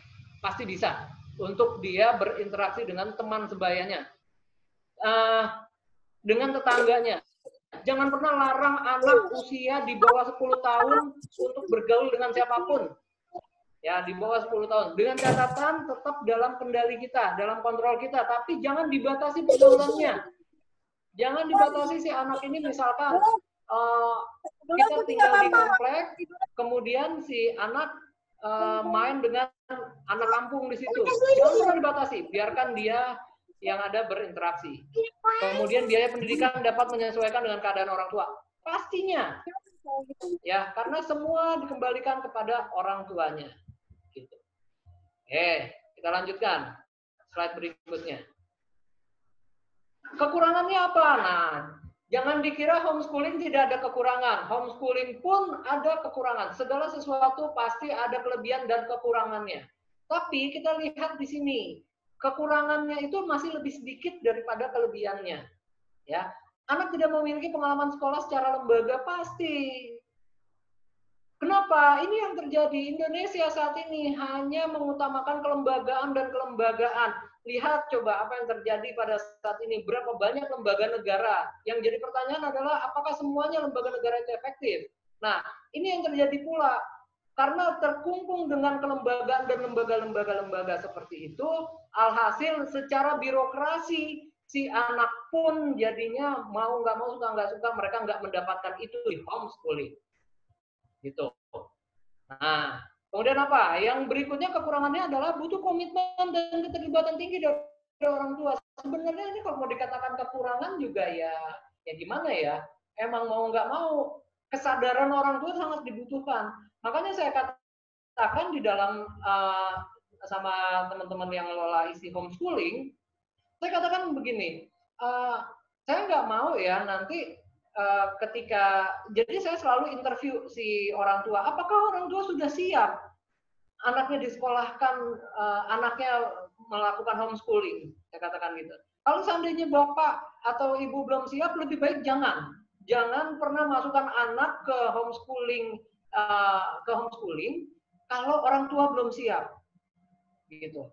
Yang dimaksud orang tua belum siap itu kayak apa? Ya orang tuanya juga yang ada nggak mau nih ibaratnya ngedengerin omongan uh, orang tuanya masih mendengarkan omongan tetangga. Ih, kasihan ya uh, anaknya nggak disekolahin nggak punya duit kali itu. Ya sambil sambil gayanya si siapa tuh yang di film tilik. Nah kayak gitu. Bisa jadi kayak gitu tuh. Jadi masih ngedengerin omongan ocehan-ocehan tetangga yang memang negatif ngelihat anaknya nggak bersekolah, jadi mikirnya ke mana-mana. Nah, itu. Ataupun juga di lain sisi, orang tua sendiri juga harus belajar. Jadi ketika yang namanya homeschooling itu, uh, sebenarnya si anak, eh sebenarnya yang belajar itu siapa? Orang tuanya dulu orang tuanya dipastikan dia harus memiliki pembelajaran harus harus uh, mampu dulu harus siap sorry bukan mampu tapi siap minimum siap ya dan mau ya siap mau dan siap untuk melakukan homeschooling ke anaknya sosialisasi seumur horizontal socialization relatif rendah dibandingkan anak sekolah uh, formal karena anak homeschooling lebih terekspos dengan sosialitas eh, sosialisasi lintas umur Um, tergantung. Ini juga tergantung. Tergantung apa? Apakah orang tua membolehkan si anak uh, dia bermain dengan uh, anak-anak sebayanya di lingkungan sekitarnya? Atau atau si anak pun nggak punya komunitas gitu ya. Ataupun yang ada dia nggak punya saudara. Misalkan nggak punya sepupu. Yang paling tepat adalah arahkan dia kalau seandainya memang um, berada di satu lingkungan mewah seperti halnya saya ambil contoh di komplek-komplek yang dia ber, berpagar tinggi yang mana di situ nggak ada sosialisasi antara tetangga satu dengan tetangga lain atau yang tinggal di apartemen itu juga kemungkinan terbesarnya si anak nggak usah di homeschooling lah ibaratnya orang tuanya aja nggak punya uh, komunitas yang sebaya kok nah, kalau kayak begitu maka dari itu tergantung dari orang tuanya lagi-lagi. Ada resiko kurangnya kemampuan bekerja dalam tim secara teamwork. Lagi-lagi tergantung apakah si anak punya komunitas atau tidak. Kalau dia punya komunitas, dia tentunya akan memiliki teamwork yang bagus. Ya. Maka dari itu, orang yang uh, menyekolahkan anaknya di homeschooling, better si anak harusnya diarahkan untuk masuk ke dalam satu organisasi yang itu sesuai dengan hobinya dia. Ya, contoh anak yang dia anak yang kayak saya nih, yang emang kepedean, pede abis, senang bicara di depan umum, nyerocos, bawel, ini harusnya dimasukkan ke komunitas apa? Ke teater. Nah, saya dulu pas banget kelas 6 dari kelas 5 eh enggak kelas 4 SD sampai dengan kelas 6 SD saya uh, ikut teater di Taman Ismail Marzuki. Nah, di situ benar-benar saya terekspos semuanya. Saya bisa uh, melakukan, saya di situ berorganisasi, ya kan? Saya di situ bisa um, apa namanya, bisa bersosialisasi. Nah, lihat. Dan sesuai dengan minat bakat saya, itu yang paling penting. Sedangkan belum tentu di tempat lain, di uh, sekolah formal. Sekolah formal belum tentu kayak begitu. Oke. Kemudian, nah kurang lebihnya kayak jadi kekurangan ini pun nggak semata-mata seperti itu kekurangannya. Nah, saya mengutip juga di sini dengan pernyataannya uh, Nadiem Makarim, Mas Menteri, ya, dia dia menekankan saat ini Indonesia sedang mer, uh, me, mengarahkan setiap anak harus merdeka belajar. Adalah program kebijakan baru dari Mas Menteri ini dengan sistem pengajaran juga akan berubah dari yang awalnya bernuansa di dalam kelas sekarang menjadi di luar kelas. Nuansa pembelajarannya akan lebih nyaman karena murid dapat berdiskusi lebih dengan guru, belajar dengan outing kelas dan tidak hanya mendengarkan penjelasan guru, tetapi lebih membentuk karakter peserta didik yang berani, mandiri, cerdik dalam bergaul dan beradab, sopan, berkompetensi, dan tidak hanya mengandalkan sistem ranking. Sesuai yang saya katakan tadi, uh, terlepas saya setuju atau tidak dengan pemerintahan saat ini, tapi untuk hal saat ini, untuk hal yang terjadi uh, di pendidikan saat ini, saya mengacungkan jempol untuk uh, Mas Nadim karena memang menurut saya inilah yang seharusnya terjadi dari dulu, ya kan? Karena memang secara ya karena memang saya selama ini juga uh, penelitian saya juga ke arah pendidikan, ya kan? Penelitian saya juga ke arah pendidikan. Dan memang ini yang lebih tepat ketika ketika kita belajar di kelas dengan belajar di uh, tempat terbuka jauh sangat berbeda gitu dan anak yang uh, usia usia anak sampai dengan remaja, mereka kalau terlalu lama di dalam kelas bersiap nanti anak itu juga yang ada akan mengalami kejenuhan. Jadi nggak heran jadi tawuran, nggak heran pula anak yang ada terjadi penyimpangan-penyimpangan sosial lainnya. Kenapa? Karena tadi dia bosan dengan suasana kelas. Nah, itu. Nah, uh, kemudian pertanyaannya terus gimana dong uh, caranya uh, nantinya nih anak-anak ini kalau nggak pakai ranking terus gimana anak-anak bisa masuk ke perguruan tinggi uh, masuk ke perguruan tinggi favoritnya? Ya sebenarnya nanti ada istilahnya kalau sebelumnya ada UN, sekarang istilahnya adalah AN, Asesmen Nasional. Saya katakan setuju sekali saya dengan asesmen nasional. Kenapa? Karena di asesmen nasional ini bukan semata-mata hanya melihat dari faktor akademiknya dia saja. Tetapi di asesmen nasional dilihat karakternya dia. Apakah anak ini cocok untuk di bidang uh, teknik terkadang si anak dia mau ke bidang sosial, tapi ternyata orang tuanya yang memaksakan untuk dia di teknik. Kesalahan terbesarnya dari seorang tua adalah begitu. Alhasil apa? Ketika dia di dunia kerjanya, yang tadinya dia anak teknik berubah dia ke sosial dengan sendirinya. Karena apa? Bukan gue banget, nggak passion saya nih di sini. Dia pasti akan bilang sama orang tuanya gitu.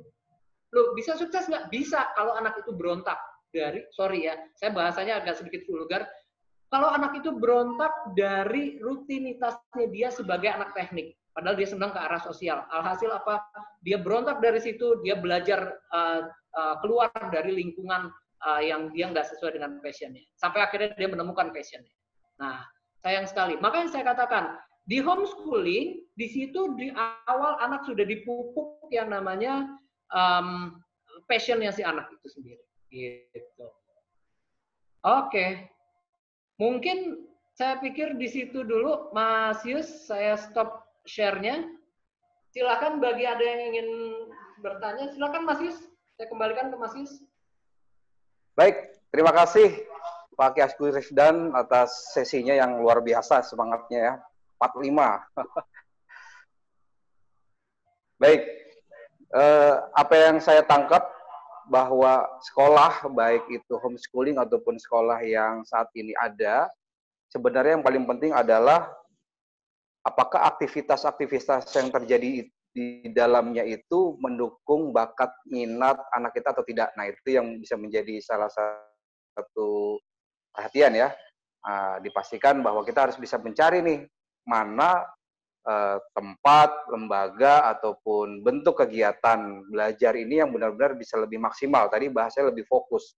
Sehingga meminimalisir dari sisi durasi waktu, kemudian juga pastinya kos, biaya ya, karena belajar sesuatu yang mungkin di luar bakat minat ataupun uh, kesenangan anak ini juga pasti uh, memakan waktu, biaya sehingga uh, ini kita ingin kita minimalisir lah gitu.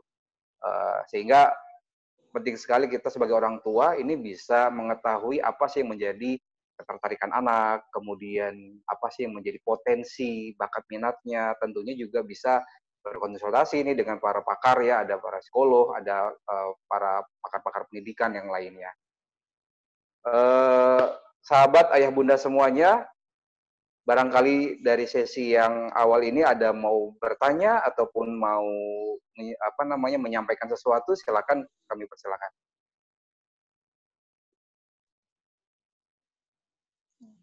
Barangkali ada yang mau bertanya dulu sebelum Oke. Okay.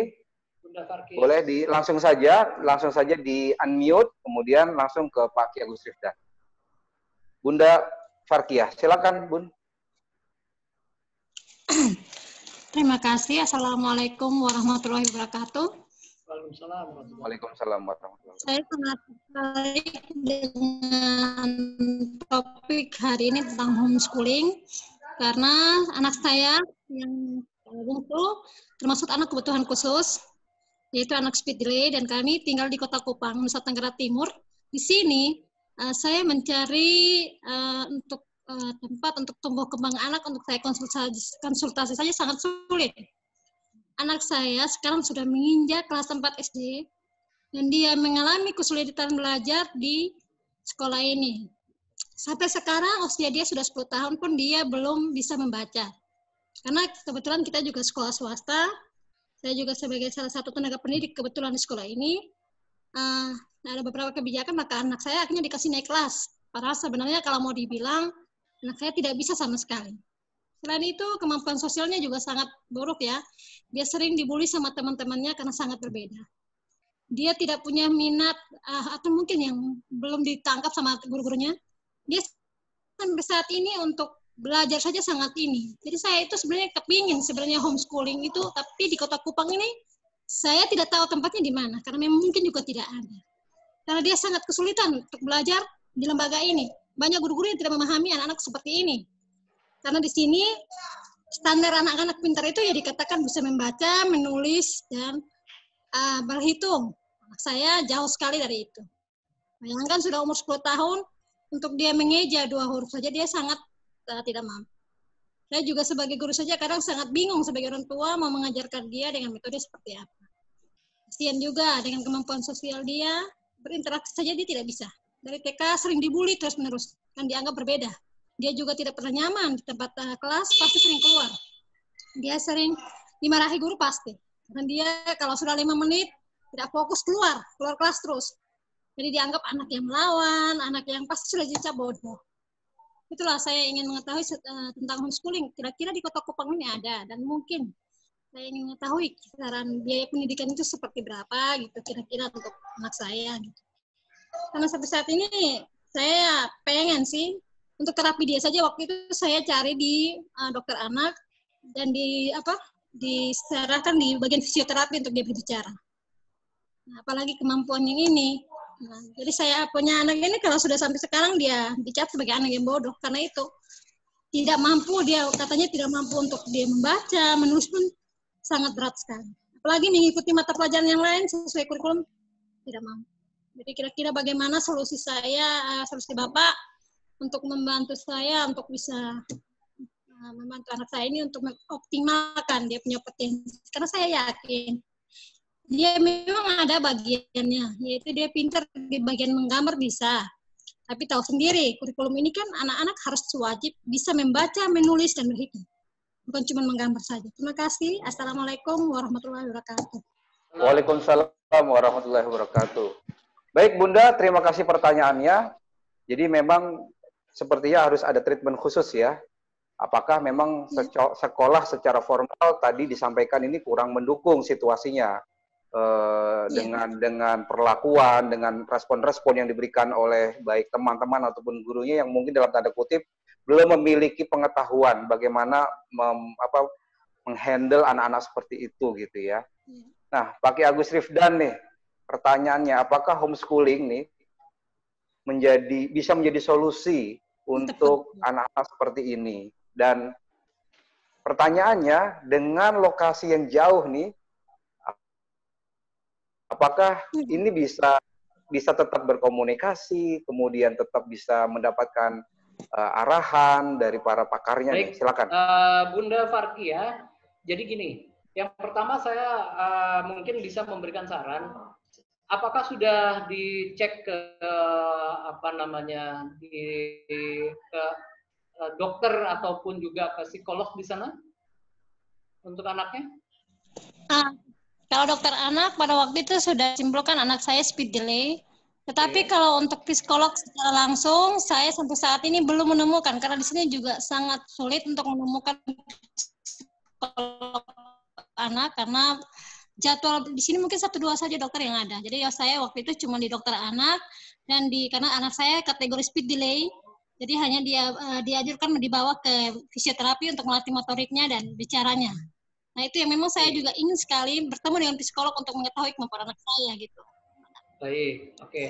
Um, saya mungkin sekarang kalau saya boleh saran yang ada pertama yang kita yang perlu dilakukan adalah coba dicari dulu di daerah Kupang itu tahu saya sih ada ya karena kami kan juga ada HIMSI ya Bu ya himpunan uh, psikologi Indonesia itu di seluruh Indonesia sebenarnya ada nanti Ibu uh, saya sarankan coba aja klik uh, Himsi Kupang, tulisannya H I M P S I. ya H I M P S I HIMSI Kupang. Di searching aja di uh, Google. Nanti di situ ibu coba kontak dulu. Saya uh, bisa ibaratnya langsung menjustifikasi anak ibu begini anak ibu begitu sebelum memang ibu coba tanya dulu ke uh, psikolog setempat. Karena yang namanya kita uh, melihat psikologi seorang anak nggak bisa hanya dari curhatan sang ibu ataupun orang lain. Kita nggak bisa gitu. Di lain sisi kita harus melihat dulu si anak yang seperti apa. Tapi kalau hanya dari pengaduan aja, paling saya hanya bisa memberikan uh, arahan aja, bukan treatment bahasanya ya, tapi hanya arahan aja berupa seperti ini, Bu. Jadi uh, anak-anak yang saya katakan kebutuhan khusus seperti itu ya, nah kan saya nggak enak juga kalau saya bilang, padahal belum tentu berkebutuhan khusus, ya kan? Tapi paling tidak saya uh, mengatakan secara umum, secara general, anak kebutuhan khusus ketika dia berada di sekolah formal, bagus sebenarnya. Kenapa? Dengan catatan, lagi-lagi dengan catatan. Dengan catatan, di situ harus ada pendamping. Ya, di sekolah formal yang ada pendampingnya. Loh, maksudnya gimana? Iya, ada yang mendampingi si anak ini dari awal dia masuk sampai dia pulang. Sehingga apa yang terjadi? Sehingga yang terjadi di sini, si anak pun yang ada dia merasa nyaman dengan berada di sekolah itu. Nah, saya rasa ketika bicara uh, di sekolahnya Bunda Farkia saat ini, itu nggak ada pendampingnya ya Bun ya? Betul nggak? Iya, karena sa sampai saya teman guru sendiri bilang, mungkin Bun, tidak mungkin kami hanya anak ibu, karena di kelas kami juga memiliki banyak siswa. Nah, saya sendiri kan jujur single mom ya. Saya sebagai juga cari nafkah kasih anak-anak tidak mungkin juga saya harus dampingi. Itulah masalahnya juga. Karena anak saya juga memang hanya maunya kalau lihat saya gitu. Tapi gimana saya juga harus ngajar dan di satu sisi saya harus mendampingi dia gitu. Kalau tidak ngajar kan tidak mungkin. Betul. Nah, iya. inilah yang terjadi. banyak. Yang terjadi salah satu kendalanya adalah ketika di uh, tempat yang memang di situ masih belum bisa mensupport ya, belum bisa mensupport uh, dari si pendidikan si anak. Nah, jadi yang yang perlu saya yang perlu saya tekankan di sini adalah kalau memang belum nggak ada nih sekolah yang dia ada pendampingnya, ada pendamping si anak, ya resikonya adalah mau nggak mau anak ini harus homeschooling. Tapi kalau homeschooling pun tidak bisa, ya memang mau nggak mau berada dekat bundanya. Tapi dengan catatan tadi, ketika di rumah tolong dikuatkan si anak, Bu. Ya. Ketika di rumah, tolong dikuatkan si anak. Ketika di sekolah dia terjadi bullying. Banyak sekali, Bu, termasuk saya. Saya salah satu korban bullying sebenarnya karena orang-orang menganggap saya itu sotoy, sok tahu. Udah gitu uh, apa ya bahasanya tuh bawel banyak omong. Saya ingat banget waktu masih SD itu saya sampai sekarang saya masih ingat siapa orang yang membuli saya. Saya masih ingat seperti itu. Tapi apa yang saya uh, katakan pada uh, apa yang dilakukan oleh ibu saya, saya selalu cerita sama ibu saya, ya kan? Saya bilang sama ibu saya bahwa uh, saya dibully sama si ini, saya diperlakukan begini sama si ini. Kemudian apa yang dikatakan ibu saya? Ibu saya uh, memberikan saya kesab apa meningkatkan kesabaran saya dulu. Gak apa-apa kalau kita uh, diperlakukan gini sama orang, itu nanti kita akan minta uh, hadiahnya sama Allah ketika di akhirat. Saya ingat banget kata-katanya itu tuh. Jadi saya dihibur dengan seperti itu. Nanti ketika di akhirat yang ada pahalanya dia buat kita. Enak nggak? Jadi kalau kita uh, ibaratnya nih sekarang kayak mama, ibu saya kerja bu, ibu saya PNS, papa saya juga PNS. Kemudian apa yang terjadi pada saat itu? Dia bilang, mama kan sekarang dapat gaji. Nah, kalau uh, nanti yang ada uh, kalau kita uh, dijahatin sama orang, gaji orang itu atau pahalanya orang itu nanti dikasih ke kita. Enak nggak kayak gitu? Terus saya katakan, iya enak. Nah, habis itu saya bilang ke papa saya, beda cerita dengan papa saya. Kalau papa saya langsung, siapa? Siapa yang uh, siapa yang ngejahatin? Ayo sini, bilang ke papa. Nah, kalau saya seperti itu sampai akhirnya saya lapor lagi ke papa. Tapi yang terjadi apa kata ibu saya? Udah biar urusannya sama mama. Nah, pada saat itu akhirnya dilapor ke kepala sekolah dikasih tahu sama kepala sekolahnya, dipanggil anaknya. Nah, lihat, jadi saya katakan bahwa uh, anak-anak di luar sana banyak sekali godaannya, Bu. Apalagi lagi zaman saat ini ya, apalagi dengan kondisi yang teknologi semakin menggila saat ini. Pasti banyak banget uh, apa ya godaan untuk si anak. Apalagi anak inklusi, apalagi anak berkebutuhan khusus. Nggak semua orang bisa menerima anak berkebutuhan khusus loh. Nah, tapi di situ kita harus uh, apa kalau saya membahasakannya dengan justru orang tuanya lah yang sampai akhirnya di, uh, di situ kita diarahkan mungkin bisa jadi Allah mau bilang sama kita gini inilah saatnya peran orang tua di situ melindungi si anak sehingga si anak itu uh, berada dekat dengan kita dan nantinya anak ini akan bersama kita nah jadi protek dari orang tua atau perlindungan orang tua atau uh, pendidikan orang tua itu lebih utama sebenarnya. Uh, kalau di sana nggak ada ibaratnya ya, ibu nggak bisa nih melakukan uh, apa homeschooling di rumah sendiri. Misalkan ibu ngajar di rumah sendiri dan sebagainya, rasanya saya nggak mungkin kayak gitu pak. Iya nggak apa-apa, nggak masalah. Tapi pastikan quality time atau uh, apa istilahnya, waktu bersama anak ini intens gitu. Walaupun cuma sebentar, ibu ibaratnya ngajar juga di ini, terus ketemu anaknya juga hanya beberapa saat, tapi quality time. Pastikan intens banget dengan si anak, pastikan uh, anak ini merasa ya dia dia kembali ke ibunya itu dia mendapatkan perlindungan, dapat kasih sayang ketimbang di luar. Alhasil apa? Anak ini akan menjadi anak yang sangat uh, nurut sama orang tuanya. Harusnya gitu, ya kan? Gitu, Bu. Ada lagi mau tanyakan Bu? Baik. Gimana Bunda Farkia? Jadi uh, ya, ada lagi pertanyaannya? Memang hari-hari bersama-sama ya. Kalau kan kebetulan dia juga sekolah di tempat saya ngajar, tapi ya kita pulang juga sama. Tapi itulah dia motivasi untuk saya mengajak mau belajar saja sama-sama saya tidak mau selalu dengan rengekan, nangis dan segala macam itu yang kadang-kadang saya sampai bingung. Akhirnya kan juga saya juga dikatain sama teman-teman guru di sini, ibu di rumah tuh ngapain aja, kok tidak pernah ajar anak gitu. Ibu kan guru gini-gini, saya bilang saya itu sudah berusaha, apa saya harus mukul anak saya sampai mati, baru kalian mau berhenti gitu kan. Saya juga sering dicecar, masa anak sudah umur begini nggak bisa, saya sudah bilang anak saya itu bukan seperti anak-anak yang lain. Saya ini udah konsultasi sama dokter baru saya ya berani memutuskan anak saya seperti ini. Saya sudah kasih tahu ya kondisi anak tapi mungkin ada yang menyatakan saya membela anak saya. Kenapa? Ya itu, anak saya bodoh. Sampai sekarang sudah 10 tahun kok nggak tahu baca, nggak tahu nulis gitu. Padahal saya ini, oh. uh, oh, ya, sebentar, Mbak. saya potong Bu ya. Uh, tadi ya. Bu, saya katakan, yang namanya homeschooling, sekolah di rumah itu jangan pedulikan omongan tetangga, jangan pedulikan omongan orang lain. Efeknya kayak gitu memang Bu. Uh, sampai akhirnya ibu sendiri merasa kesal dan ibu nggak usah terfokus pada kekurangannya Iya. Kalau kita fokus pada kekurangan si anak, alhasil kita hanya capek ngurusin kekurangannya aja. Tapi kita fokus pada iya. kehebatan si anak. Contoh kata ibu tadi kan, anak ibu senang untuk menggambar, fokus ke sana. Ya kan? Arahkan si anak ini, biarin dia nggak bisa membaca saat ini, bukan nggak bisa, tapi belum bisa. Belum bisa membaca saat ini nggak apa-apa. Tapi ibu fokus ke dalam ke arah yang kehebatannya dia. Terus aja di situ. Dengan sendiri Jadinya nanti si anak memberikan memberikan rasa nyaman dan sesuai passionnya si anak. Nggak masalah. Nggak apa-apa, nggak usah nggak usah naik kelas juga nggak masalah. Banyak orang yang naik kelas sampai akhir bahkan bahkan akselerasi, tapi apa yang terjadi? Dia jahat sama orang lain. Nah, yang kita perlukan saat ini adalah iya. orang-orang baik, Bu. Bukan orang pintar tapi jahat. Tapi yang kita butuhkan adalah orang baik tapi pintar.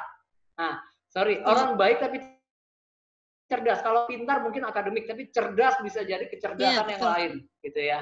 Nah, makanya saya katakan yang kita butuhkan adalah orang baik tapi cerdas.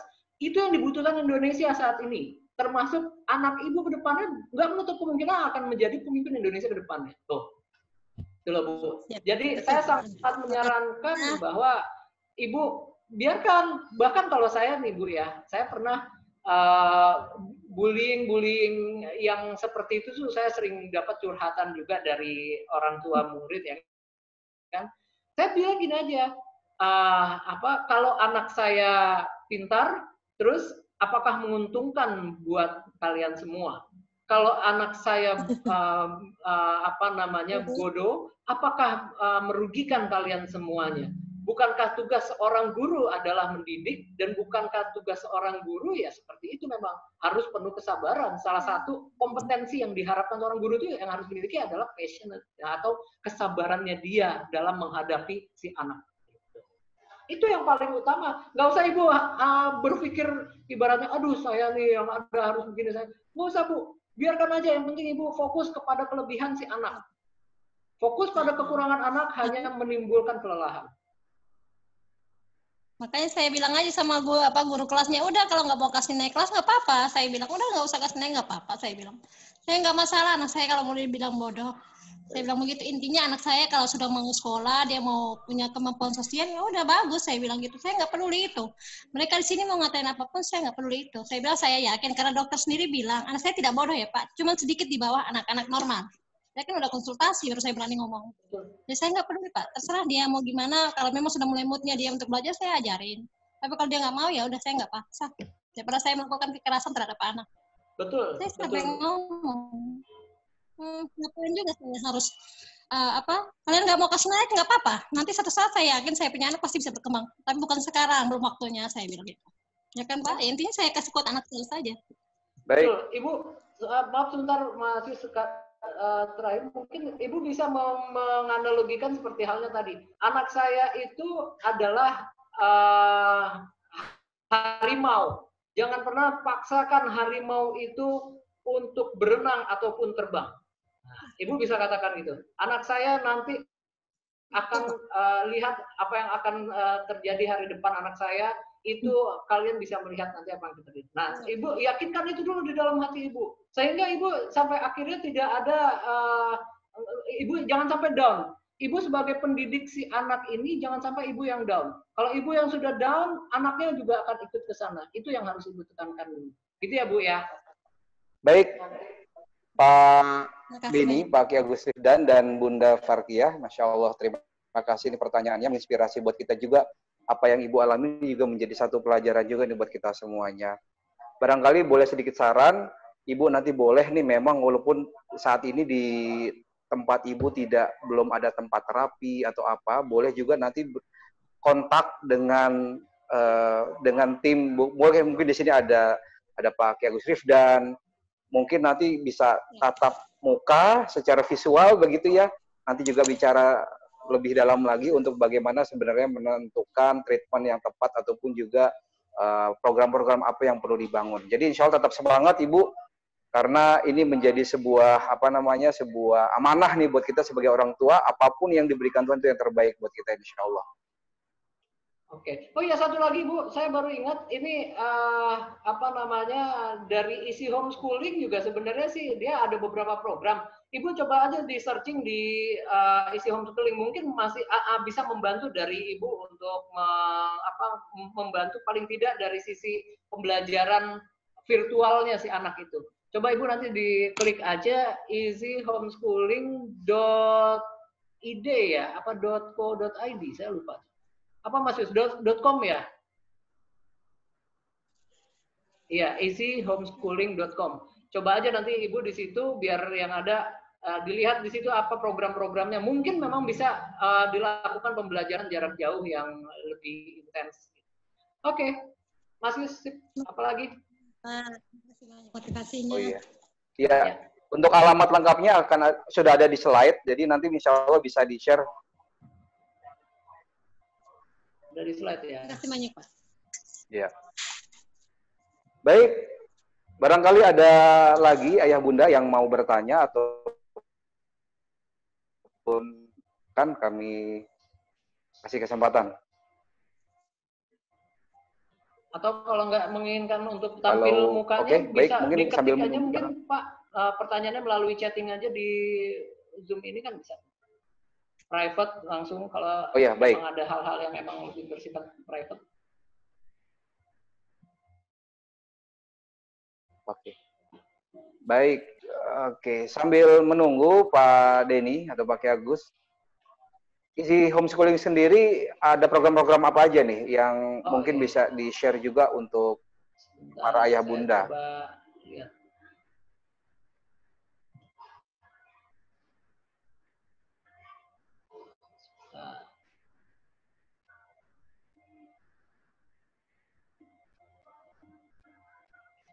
Ini ada salah satu uh, testimoni dari uh, apa namanya dari peserta homeschooling ya, dari peserta homeschooling kita. Saya kepengen memutarkan itu dulu, mungkin masih sebelum mengakhirkan nah, tidak bisa.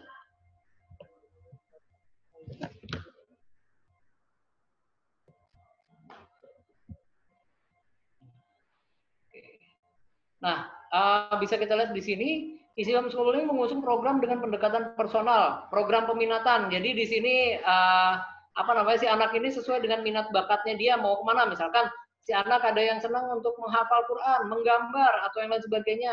Kami pun juga yang ada memberikan uh, di isi homeschooling memberikan program itu, termasuk juga uh, talent class. Nah itu juga ada juga. Kemudian sekolah kelompok sekolah kelompok itu bentuknya kayak belajar kelompok, jadi dia lebih ke arah um, bukan sekolah yang klasikal gitu, bukan. Sekolah mandiri, privat akademik, privat mengaji, itu ada juga. Sekolah inklusi, ada juga sekolah inklusinya, dan paket ABC. Oh ya, untuk uh, Ibu Farkia tadi nggak jadi masalah bu kalau seandainya anak nanti nggak nggak diluluskan dari SD pun juga nggak masalah sekarang pun juga bukan masalah lulus atau tidaknya tapi masalah karakter nantinya. Jadi uh, pemerintah pun saat ini Mas Nadim mengangkat tuh tentang bagaimana pendidikan karakter. Nah ini homeschooling uh, dari isi homeschooling itu kita head office-nya ada di Bintaro Jalan Raya Veteran. Ini mungkin yang ah isi homeschooling.id iya isi homeschooling.id nanti bisa dicek aja ke website isi homeschooling. Kemudian bisa dicatat itu nomor handphonenya juga ada dengan isi homeschoolingnya. Oh yes. Dan saya ingin menunjukkan dulu ini. Nah ini adalah uh, anak yang dia berhomeschooling. Oops ini adalah anak yang berhomeschooling, mungkin bisa kita lihat bersama di sini. Luar biasa pengalamannya. Dia uh, banyak sekali. Ada pertanyaan juga nanti di chat Saat Pak ini dia sudah lulus Dan ya. Mungkin setelah setelah video. Boleh.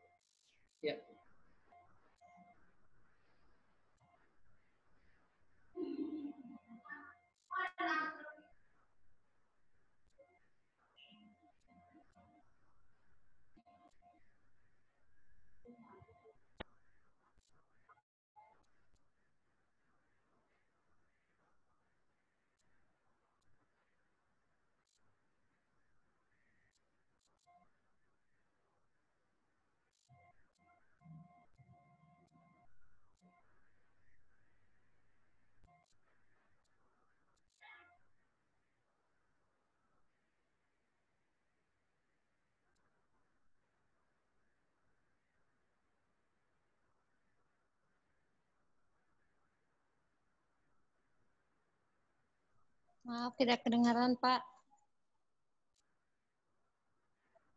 Iya. Suaranya tidak terdengar. Ya, Pak suaranya enggak. Mm-mm, jaringan, jaringan. Kedengaran, enggak kedengaran suaranya. Gimana? Oh, suara tidak terdengar. Baik, nggak apa-apa. Iya. Ntar saya jelaskan sedikit.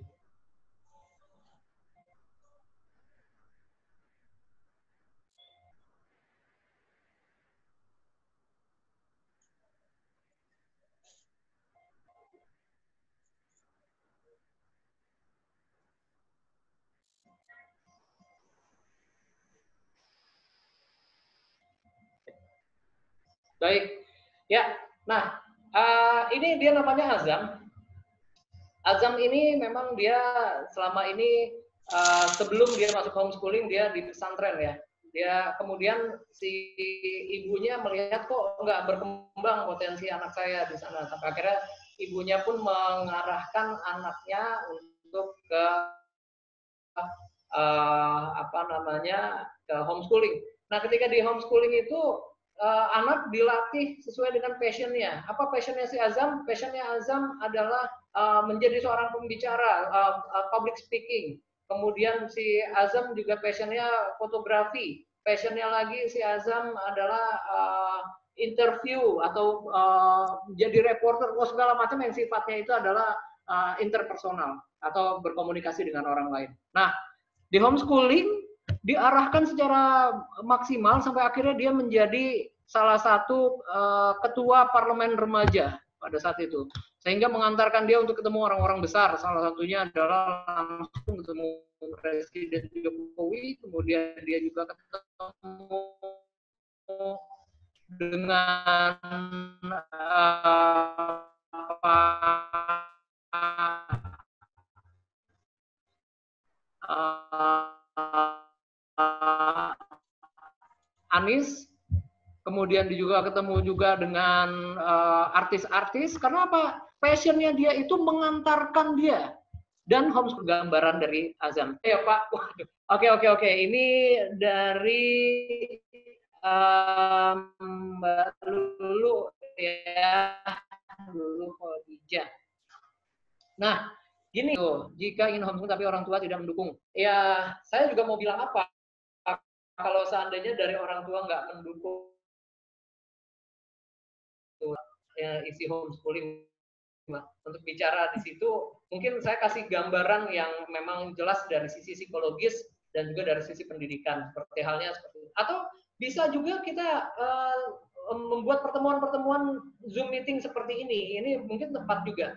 Dengan uh, coba nanti kita buka wawasan orang tuanya. Mungkin di lain sisi orang tua sudah tahu kelebihannya tapi merasa uh, ah repot ah ah ribet ah nah isi homeschooling sebenarnya memberikan solusinya. Apa solusinya? Sebenarnya orang tua nggak mesti serepot itu, hanya butuh support dan dukungannya saja. Hanya butuh support dan atau dukungan untuk si anak. Sebenarnya hanya sebatas itu. Nggak semata-mata, apalagi kalau anaknya uh, usianya itu SMP ke atas, itu udah nggak seribet SD. Begitu kalau menurut saya, Mbak Lulu Khadijah. Oke, ada lagi?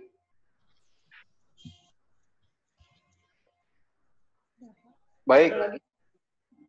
Pak Denny, visualnya mohon ini tidak kelihatan nih, gelap. Mungkin bisa dicek. Serius? Oke, apa di device saya ya? Kalau dari Ibu Bunda Farkia, apakah nampak wajah saya? Apakah nampak wajah saya, Bunda? Nampak, nampak Pak, jelas. Oh, nah, jelas. Jelas, jelas. ya, mohon maaf nih, saya di device saya tidak kelihatan. Baik, okay. barangkali ada lagi pertanyaan dari ayah bunda. Hmm. Jadi sudah, alhamdulillah, sekarang sudah kelihatan nih. Oke. Okay. Baik, tadi sudah hmm. disampaikan tentang uh, sedikit gambaran program-program yang ada di Easy Homeschooling oleh Pak Kiai Rifdan. Ya, tentunya ini bisa menjadi salah satu alternatif bagi kita sebagai seorang tua untuk memilih eh, lembaga-lembaga pendidikan yang terpercaya untuk buah hati kita tentunya. Ya, sekali lagi yang paling penting adalah kita mengetahui uh, apa yang menjadi bakat minat, kemudian apa yang menjadi passion dari anak kita dan sehingga kita bisa mengarahkan dengan menemukan lembaga-lembaga pendidikan yang bisa mendukung ataupun mensupport bakat minatnya mereka. Iya. Makanya Pak Yus di isi homeschooling ini untuk menemukan minat bakat itu diawali uh, anak itu sebelum masuk dia beli formulir, kemudian dia uh, langsung anak ini diarahkan untuk psikotes gitu. Psikotes oh, okay. ke arah minat bakatnya. Nah setelah psikotes minat bakat baru uh, saya mengatakan family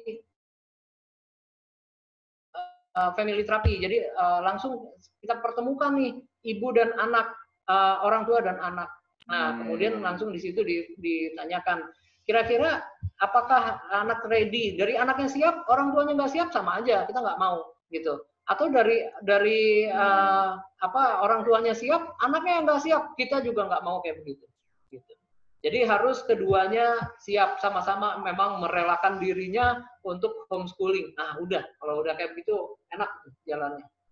Gitu, Mas dan lain sebagainya. Hmm. Gimana, gimana, Baik, ada lagi? di Kupang. Oh bisa, nanti coba uh, Bunda kontak aja ke uh, admin homeschooling ya. Uh, Kira-kira bisa nggak long distance seperti itu atau apa yang bisa dilakukan itu mungkin bisa coba aja dikonsultasikan gitu ya. Ya. Ya. Ada. Kita di psikolog aja jadinya Coba ke Himsi Himsi uh, Kupang ya Bunda tahun. ya. Iya iya. ya. Baik. Baik. Nanti kalau ke. Jakarta boleh Baik. uh, Bunda yang ada berkan kita di sini. Oke. Mungkin itu aja dari saya ya. Oke. Dari saya mungkin itu aja. Baik, Mohon baik. Maaf atas segala Baik, kesalahan. Ayah kurang Bunda, terima kasih. Baik, atas kesempatannya di- diberikan Pak Ki Agus Rifdan, terima kasih sekali sudah sharing bersama kita di pagi hari ini menjelang siang. Alhamdulillah nih sudah hampir dua jam ya kita bersama. Eh, apa yang menjadi topik adalah yang paling penting kita benar-benar mengetahui apa yang menjadi minat bakat anak-anak kita sehingga kita bisa menentukan program pendidikan, program pembelajaran apa yang sesuai dengan eh, kebutuhan mereka sehingga tidak rugi biaya, tidak rugi waktu, fokus dengan apa yang menjadi kelebihan anak kita. Nah, salah satunya adalah homeschooling yang menjadi satu, satu salah satu program yang yang bisa lebih spesifik nih fokus mengembangkan bakat minatnya anak eh, anak-anak eh, kita gitu ya maksudnya seperti itu. Baik, eh, terima kasih atas kebersamaannya pagi menjelang siang hari ini. Sekali lagi untuk narasumber eh, saya di pagi hari ini Pak Ki Agus dan Ansori atas waktunya terima kasih dan ayah bunda semua yang menyaksikan tayangan ini sekali lagi mohon maaf eh, jika ada hal yang kurang berkenan. Sekali lagi terima kasih. Insya Allah kita bisa bersua kembali dan jika ada eh, hal-hal yang perlu dikomunikasikan, silakan tadi saya sudah share alamat website eh, Home Easy Homeschooling. Barangkali nanti ada yang mau bertanya, mau sharing, silakan feel free. Eh, nanti ada tim Easy Homeschooling yang bisa eh, menyambut Bapak Ibu semuanya. Ya sekali lagi kami mengucapkan terima kasih atas kebersamaan pagi hari ini. Mohon waktu ya kita akan foto bersama untuk memberikan apa kenang-kenangan nih pagi hari ini kita akan foto bersama. Ya. Oke, barangkali mau menyalakan videonya silakan. Oke, bentar ya.